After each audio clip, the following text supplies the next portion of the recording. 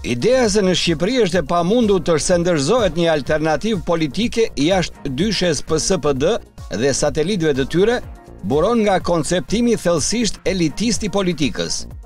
Sipas narrativës elitiste, një elitë e keqe mund të zëvendësohet vetëm me një elitë më të mirë.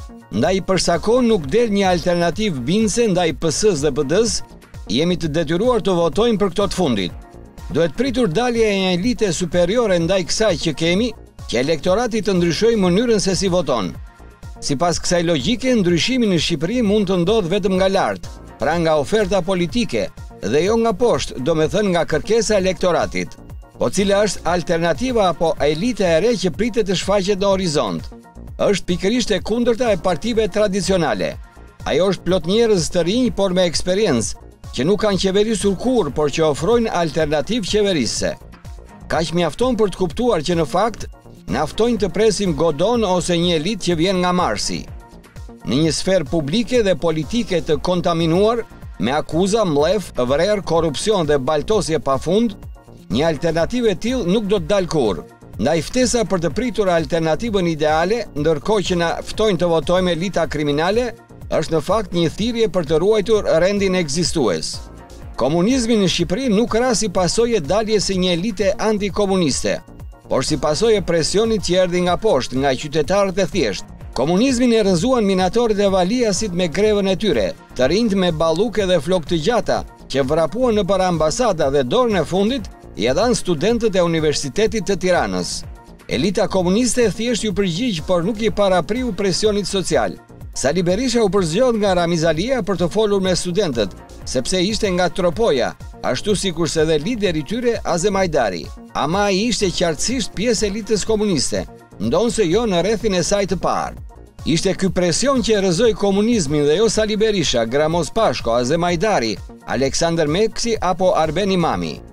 Natyrisht tashmë që jemi në kapitalizëm, askush nuk flet për grevën e minatorëve, pasi punëtorët dhe protestat e tyre shihen me përçmim. Madje kryeministri Rama propozon importimin e punëtorëve nga Bangladeshi, sepse ata shfrytëzohen më lehtë sesa tanët. Ndaj emisionet që bëhen për rënien e komunizmit nga mediat dhe gazetarët pranë elitave politike, theksojnë pafund rolin e elitave aktuale politike dhe pothuajse injorojnë presionin social që vinte nga punëtorët dhe qytetarët e thjeshtë.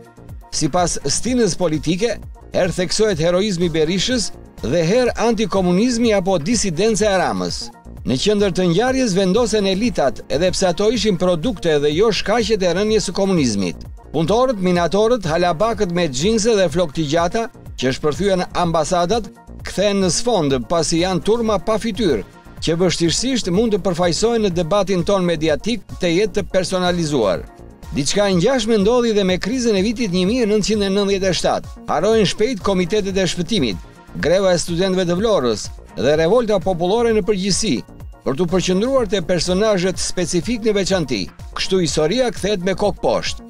Janë narrativa që paralizojnë aksionin qytetar sepse i thonë se asgjë nuk vjen nga poshtë, Çdo ndryshim vjen nga lart, ndaj qytetarët janë të dënuar të presin që të ndodhë një mrekulli. Duhet të vijë dikush nga Marsi që të na shpëtojë. Ndërkohë ata duhet të vazhdojnë të votojnë njësoj si 30 vitet e fundit, sepse nuk ka alternativë.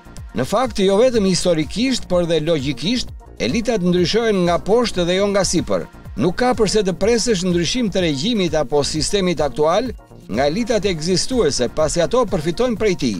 Rama, Berisha dhe Meta mund të shahen dhe zihen gjithë ditën, ama ata janë shumë komodë me njëri-tjetrin. Ndaj e vetmja mënyrë për të bërë rotacionin e elitave është të ndryshohet sjellja e elektoratit. Dhe kjo ka ndodhur prej vitesh në pothuajse të gjithë rajonin.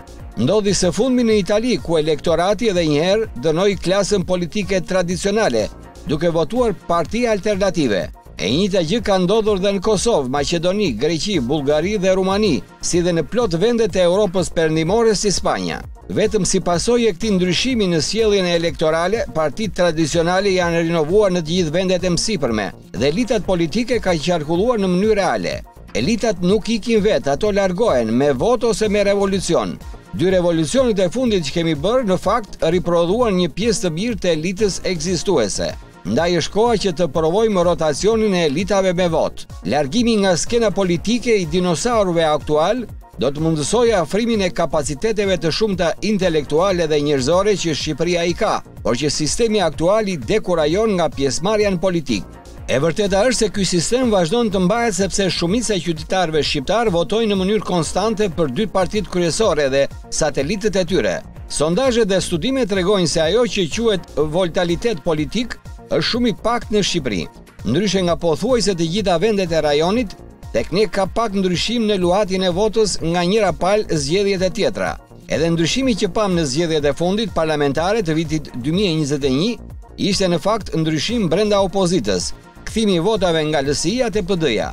Për sa kohë nuk ndryshon kjo sjellje elektorale, nuk mund të kemi ndryshim të elitave politike. Është një e vërtetë shumë e thjeshtë që po shfaqet çdo ditë dhe më shumë. Këta që na duken sot si elita të përjetshme dhe të pathyeshme, në fakt pushtetin e marrin nga vota jonë. Nëse secili prej nesh ndryshon mënyrën e votimit, këto elita të përjetshme menjëherë bëhen të përkohshme.